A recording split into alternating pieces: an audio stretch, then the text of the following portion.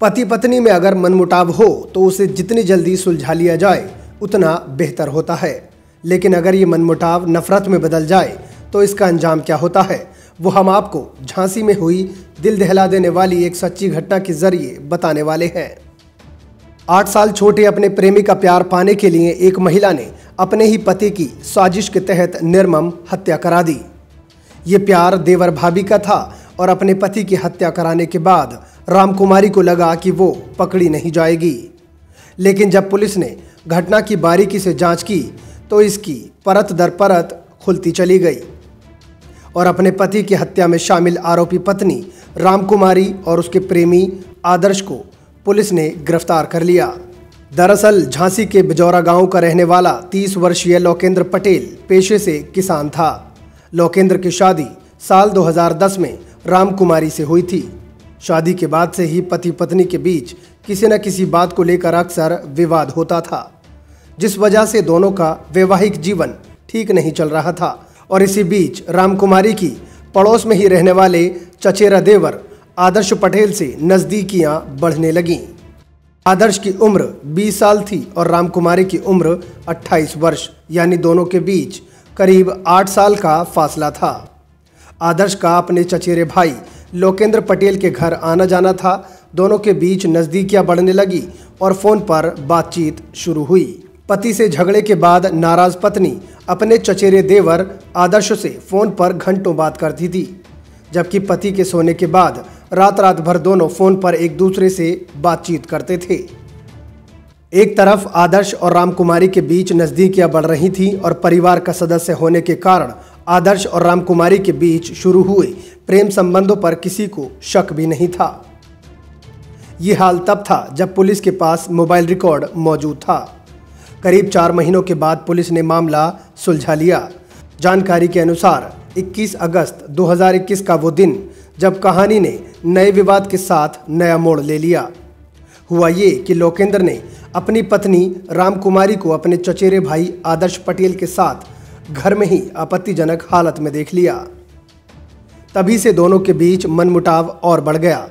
लोकेंद्र ने आदर्श को घर आने से मना कर दिया और पत्नी से मोबाइल छीनकर सिम तोड़कर फेंक दिया। कुछ दिन बाद आदर्श ने एक मोबाइल और सिम कार्ड अपने नाम से लेकर प्रेमिका भाभी रामकुमारी को दे दिया। दोनों के बीच कुछ दिनों तक बातचीत हुई, लेकिन पकड़े जाने के डर से आदर्श ने मोबाइल और सिम वापस ले लिया। लेकिन दोनों के बीच का प्यार नई ऊंचाइयों तक पहुँच चुका था। वहीं दूसरी तरफ़, पति की सख्ती के बाद ना तो वे दोनों मिल पा रहे थे और ना ही फ़ोन पर बातचीत कर पा रहे थे। इससे दोनों ने लोकेंद्र को अपने रास्ते से हटाने का प्लान बनाया। 30 सितंबर को साजिश के तहत रामकुमारी अपने पति लोकेंद्र को खेत पर लेकर गई। उस समय प्रेमी देवर कुल्हाड़ी लेकर खेत में छिपाता।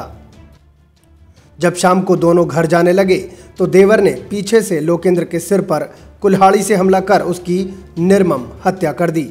इसके बाद लाश को ठिकाने लगा दिया। लोकेंद्र की हत्या के बाद परिजन पुलिस पर लगातार दबाव बनाते रहे। वहीं पुलिस को पत्नी पर शक न हो, इसलिए आरोपी पत्नी रामकुमारी ने अज्ञात लोगों पर हत्या का केस दर्ज कराया था। बाद में परिजनों ने गाँव के प्रधान समेत चार लोगों पर हत्या करने का आरोप लगा दिया, जिसके बाद परिजन कलेक्ट्रेट में धरने पर बैठ गए। उस वक्त पुलिस अफसरों ने समझाकर धरना प्रदर्शन समाप्त कराया। इस धरने में मृतक की पत्नी रामकुमारी भी शामिल थी। इस मामले में पुलिस की लगातार जाँच चल रही थी। अब तक इस घटना को चार महीने बीत चुके थे और पुलिस को हत्यारोपियों का पता नहीं चल पा रहा था। पुलिस ने हर सिरे से जाँच शुरू की और तफ्तीश में पता चला कि हत्या से छः महीने पहले पत्नी की एक नंबर पर सबसे अधिक यानी ग्यारह हज़ार तीन सौ चौहत्तर मिनट, लगभग एक सौ नवासी घंटे बातचीत हुई है।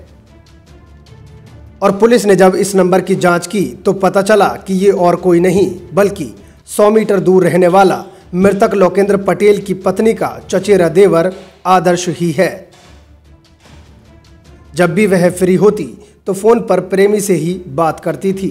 रात में भी पति को सुलाकर वह छुपकर प्रेमी से रात भर बातें करती थी। यहीं से पुलिस को दोनों आरोपियों पर शक हुआ, जिसके बाद पुलिस ने सख्ती से पूछताछ की।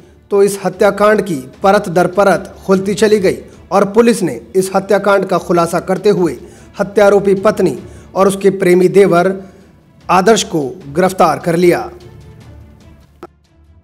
Bureau report, time 24 news.